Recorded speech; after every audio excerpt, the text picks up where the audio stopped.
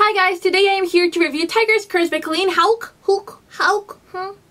The story is about Kelsey, who by random acts of faith, well, not that random, she ends up in India, trying to break a 300-year-old curse for this prince that was turned into a tiger. And yeah, Tiger's Curse is, in, is the exciting first volume in an epic fantasy romance novel that will leave you breathless and yearning for more. no. no. No. No. I started this and I was very excited and we start with a prologue and the plot appears and it's it's just there and bam we are ready to kick off so that was a good start you know we already have our conflict who's the bad guy good guy uh, we know what's going on and it's just good then we go with Kelsey who is a 17 year old 17 year old 17 year old I think she's 17 who lives in Oregon Oregon I can't pronounce that mm. and she's looking for a job and she finds one in the circus and it, it's here where my first problem pops up Okay, one of the main problems with me was that the dialogue was so fake. So fake. Nobody talks like that. Nobody talks like that. No, no, don't try to justify it. Nobody talks that way. And the fact that how things happen was also very unreal. No, stuff doesn't happen like that. It doesn't. She goes to the circus asks for a job and they tell her that yes, she has a job, but she has to live in the circus for two weeks because she needs to take care of the tigers and other animals 24-7. She goes home and tells her foster parents about this because her main original parents died in an accident a couple of years ago. So she has foster parents and she tells them oh hey I got a job. I'm gonna be living in the circus for two weeks. See you later. Oh that's so great. You got a job. Good for you sweetie. That will look really good on your resume. And they just let her go. That simple. My parents would have never, ever let me just go like that to work at a circus just 24-7 for two weeks. I mean, what could possibly go wrong? There are absolutely no chances that that circus may be, I don't know, fake, something, I don't know, she can be kidnapped. Because fine, the circus is a good established circus and we trust it. But seriously, you're not even gonna go with her to look at where she's going to be sleeping for the next two weeks. Just be with her. Just make sure she's going to be okay. Of course not. Why would we do that? Then she goes to the circus and she sees the tiger and she's so captivated by it. And she goes every single night to talk to him and read to him. The tiger. Mm, yeah, I do talk with my dogs a lot. Like, a lot. Yeah, I talk to them a lot. But there's limits. I don't read to them and I... I don't know, going to talk to the tiger because you're just magically drawn to him, it's like, come on, come on, please Colleen, how cool, whatever, just try to make this a little bit more interesting difficult, don't just make everything to the convenience of the plot, just try. Then boom, two weeks pass and then this man comes to the circus wanting to take the tiger to a special place in India where he can be free and live happily ever after. And he is described as old but not that old, you know, like he can be a grandpa but he's in a very good shape. And he asks Kelsey to go with him to India so she can accompany the tiger and make sure he's okay, you know, while he settles in.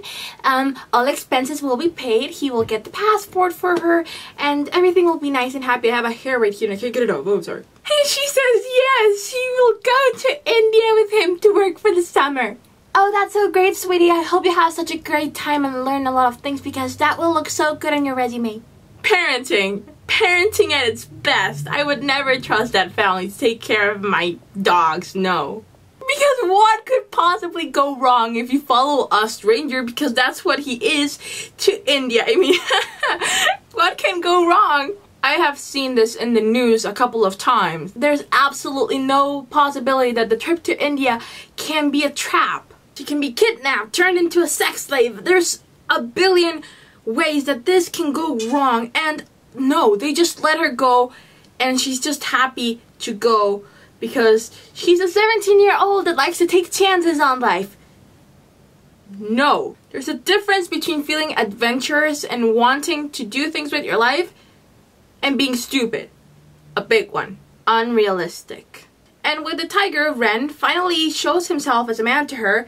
It's like she believes him She she's just like, oh my god, you you're lying. Oh no, you are, you are because I feel the connection between us. I I know you are him.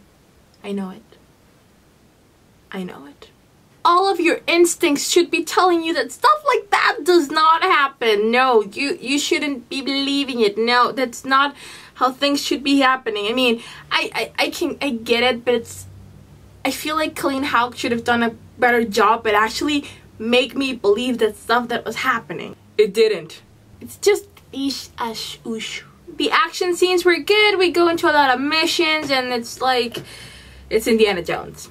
It's Indiana Jones and the Mummy Returns and the Book of the Jungle. Just every action sequence had potential, but it was not done right. I didn't feel anything. I was just reading how they were running away from killer monkeys. That's the thing. Killer monkeys. That's a thing. And I just, you know. And I get that I was supposed to feel like my heart was beating a lot in my chest and it was like, oh, this, that, so thrilling, the action, the woo. The action was not exciting. That's it. That's it. Then there's the fact that they spent constant hours in the jungle and she's just bored out of her mind. But she loves to read. And she takes a hell of a lot of stuff in her backpack, but she can't fit a book. Honestly. And then they finish with their mini mission and they go back to civilization and she picks up a book. You couldn't take a book into the jungle? Was it that hard? and also, that, that this is probably a bit ridiculous, but they spend a hell of a lot of time sleeping in this novel. I'm not even kidding you.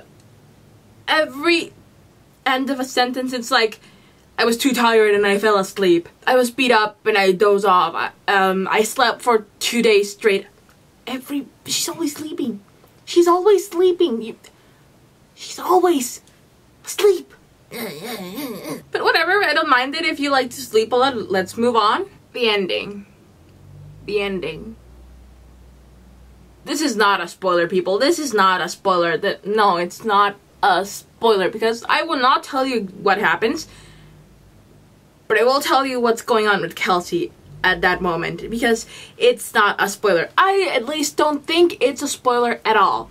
But if you are super picky with spoilers and you're like, no, I don't want to listen to anything, no, no, no, no, no, then allow me to invite you to stop watching this video and check out my written review. I will leave a link to my review on my blog in the description. So click on that and you will read a much more structured review of mine. Mm -hmm. So click that and you will be able to easily avoid spoilers. But again, this is not a spoiler. I don't think it's a spoiler. Just It's just in case you're like very picky about stuff. Now, I want you to imagine almost every single YA novel in the world where the girl does not think she's good enough for the guy or the guy does not think he's good enough for the girl and he, she pushes him, she away because, yes, you deserve better. Just, I'm pushing you away. it's that. It's that. Even better, think of New Moon from the Twilight series. You've read that novel or you've watched the movies. Face it, you know about the story. Think of Edward when he tries to push Bella away because, oh, I'm not good for you, Bella. And then it's like, no, you're not good for me. I'm gonna leave you. And then she's like all whiny and, and sad. Just think of Kelsey as Edward. That's, that's it. That, yeah. She thought she was not deserving of Ren and that she was not good enough and it was just all a huge pity party of how oh I'm not good enough and my low self-esteem and he deserves better and it was so stressing. And Ren trying to convince her that yes he wanted her he didn't want anyone else and she was like no you don't know what you want. No leave me alone. Yeah no no I'm not good for you it's not good to think so little of you it's not good you have this guy that's the opportunity of a lifetime. You, you get a chance, you have a shot at true love. And because you're a very pathetic person that thinks so little of yourself, you're going to let that just slip through your fingers. How can you be so stupid? How? The worst part is that I get that because I tend to have my self-esteem issues and I've pushed a lot of people away.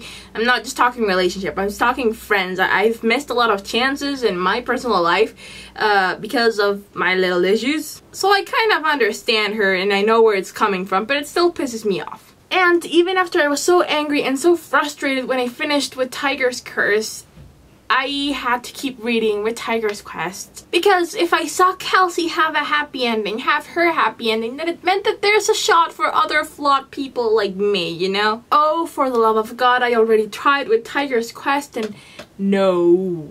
You will see in my review of Tiger's Quest, but if you don't want to check out that review just in case, just know that it doesn't get better. It doesn't get better and no, Kelsey and I turned out to be nothing alike. No, no. I think I gave the series 3 stars on Goodreads, but I was being too generous. I am going to... I'm not sure if I'm going to give it 1 star or 2 stars, but no. It has so many 5-star reviews on Goodreads, and so many people loved it, and I...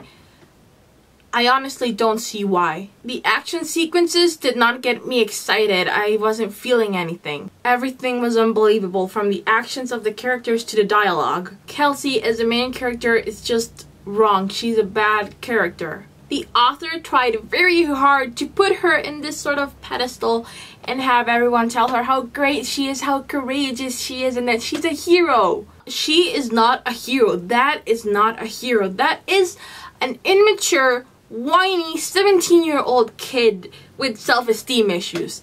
That's what she is. And she doesn't overcome that, and you can see that in the second book. It's just the same.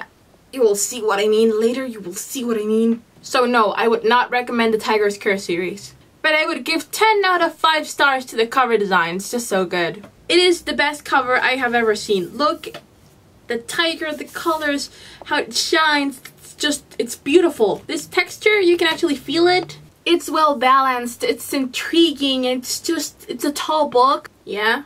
You open it and we have a little map. You can see that there's color in the main book. There's also texture right here. Can you see it? It's just very well designed. The only little thing is that the pages are white. Completely white. Typical cream colored pages, white pages. And if you read this with the sun directly just going into it, it's a bit hard. But apart from that, the design, it's the best. This, in my opinion, is the best book design I have ever seen so far in YA. What a waste.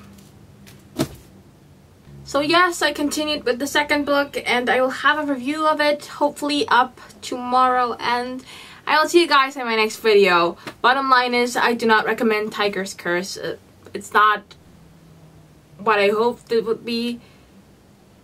It's nothing. It's not it's nothing worth reading. That that's that's how I would put it. It's harsh, but that's that's how I would put it.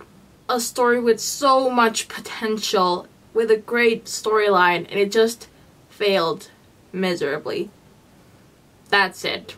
Let me know if you've read that book, if you liked it. I'm sorry because I, I get sad when I read reviews, bad reviews on books that I really liked, but I really didn't like it. Or let me know if you agree with me, I don't know. And I will see you guys on my next video. Bye!